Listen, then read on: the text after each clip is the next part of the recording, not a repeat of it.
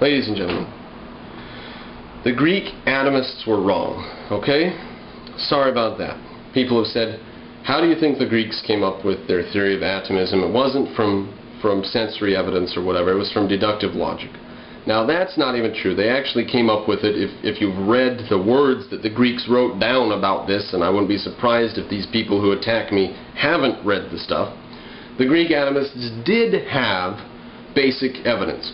They mentioned, for example, that a wheel turning on an axle, although you don't ever see anything really disappear, over time it does wear out.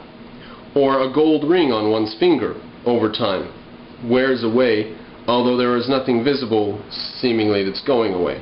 So everything in the universe, it must be, can be divided down and down and down, smaller and smaller, to some particle, which is the basis of everything.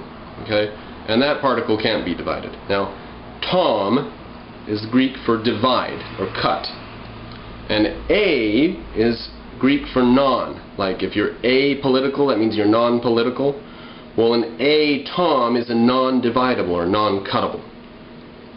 Even if you want to say the Greeks were right, there is a basic thing called the atom. Even if you want to say they were right, which they weren't because they didn't have any evidence for it, even if you want to say they were right, you have to admit that there is not uh, a basic um, building block of the universe that can't be um, cut. There isn't. There are 106 of them. That's different from saying there's one basic thing that we can't divide. And the Greeks were also wrong about that. We can divide it. Well, okay, so the Greeks weren't talking about atoms then. They were talking about uh, protons and neutrons. Oh no, those are made of quarks, right? Oh, they were talking about quarks then. Oh wait, that can be divided too. See Einstein's equation. Energy is what matter is made of. Matter is nothing but cold energy. So the Greeks were wrong thoroughly through and through. The only thing they got right was there are little things we can't see that constitute stuff. And they didn't ever prove that. And there's no, no way for you to say that they got to that through deductive logic or whatever. It was a hunch. And I don't think you can say that they were right. Now the reason that uh, I, I did a video, I'm sure, called The Right Decision for the Wrong Reason is the Wrong Decision. Well, the right conclusion for the wrong reason is the wrong conclusion. Okay?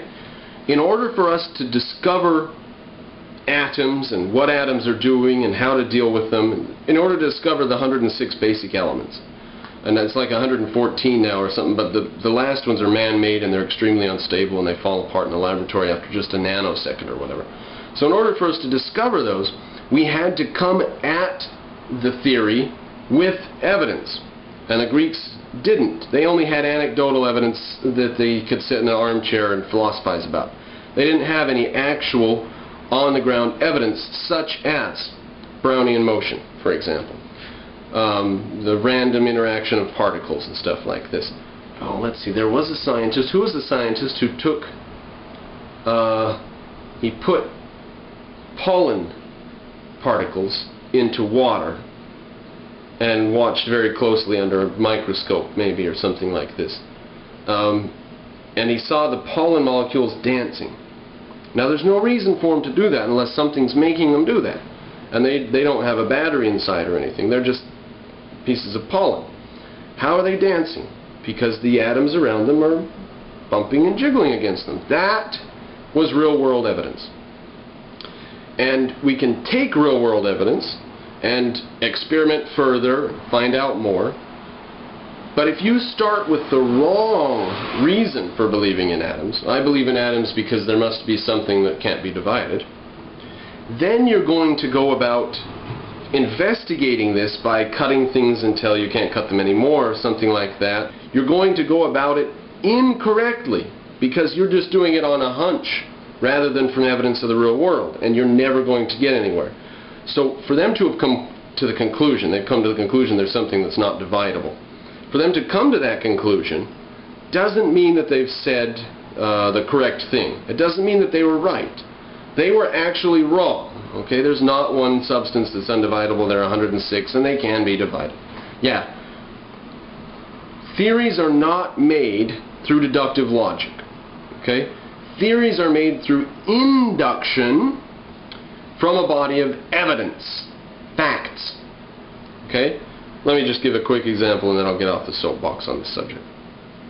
Benjamin Franklin made um, his uh, theory of, of, of lightning, that it's electricity, not by sitting in his armchair and saying, oh, lightning looks very similar to this static electricity when I pet my cat.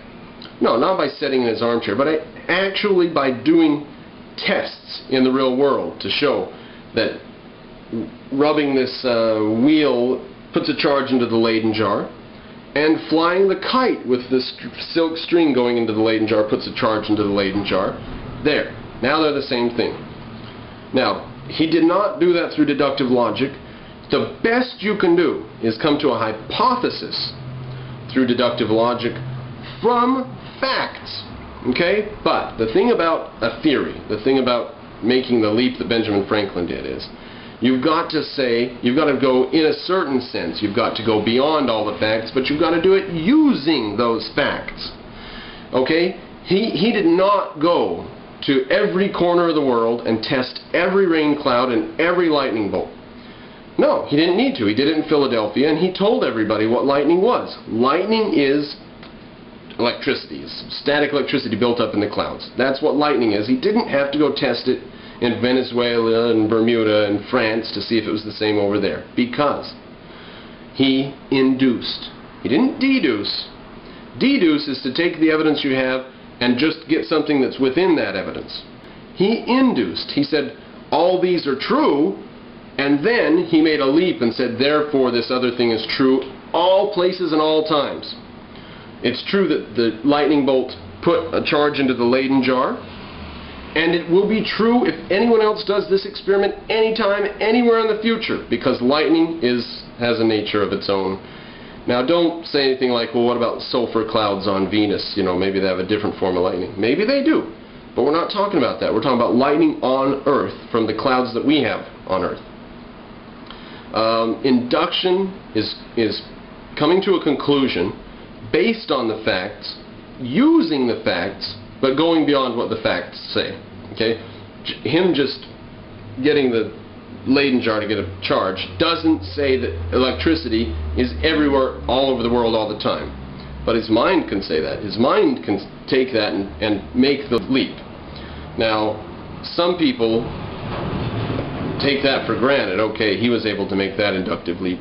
But today, if you try to say anything like that in the realm of science, if you try to make an inductive leap, they will come up with 1,199 questions for you. Like if they were in Ben Franklin's time, the academicians and college professors would say um, the, of today, transported back, they would say, I, I don't know, you're jumping to conclusions here. Have you tried um, to charge a Leyden jar from lightning on a high mountain?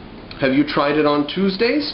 Have you tried it while you had jam in your belly from breakfast? Have you tried it while you're wearing a straw hat? Have you tried it from the top of the Eiffel Tower, which didn't exist? The Leaning Tower of Pisa. Uh, they would say, you, you cannot make this conclusion. You can't make this broad-reaching conclusion. You've got to do more testing and verification stuff. That's why uh, we've got so much crap like string theory and stuff going on today. Not, not that things aren't being accomplished instead of actual accomplishments. They are. Just not by the educational institutions. Alright, off the soapbox. Yeah, the Greek atomists were wrong. There's not one single indivisible thing. We use the word atom now, but it's not what they defined it as, something that can't be divided. And it, it can be divided, and there are 106 flavors. The Greek atomists were wrong.